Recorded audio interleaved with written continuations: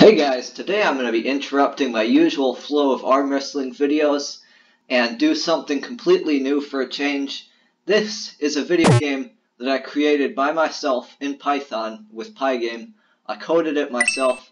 It's a copy of the world's hardest game, or not copy, copy, not a copy, it's a replica. Um, that's the way I prefer to call it anyway. This I used my own levels in this game, and so I coded this myself and that was a pretty good achievement, I guess. And so, let's move this along here. This game is a game where your character goes around, gets the gold coins, get back to the green spot, and so these levels get progressively harder, and until they're almost impossible to complete.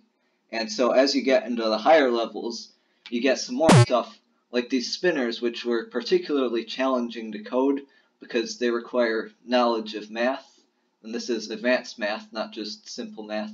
So it, it, it was much, much harder than you think it was just to code these little things that look like fidget spinners right here.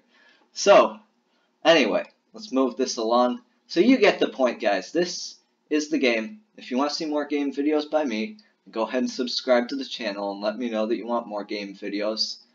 And so, this is one of the very difficult levels.